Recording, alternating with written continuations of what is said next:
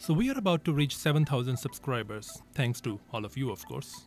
Now, on this occasion, I'm doing a book giveaway. Actually, that's not entirely correct. I'm doing two book giveaways. One of these books is a physics textbook and the other book is a mathematics textbook.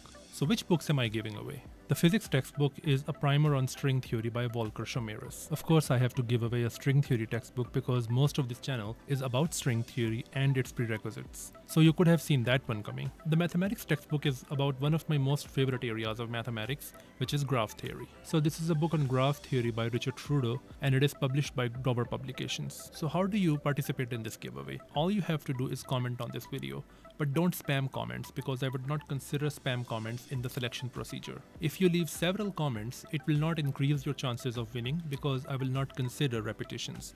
And you have to do this by the end of July.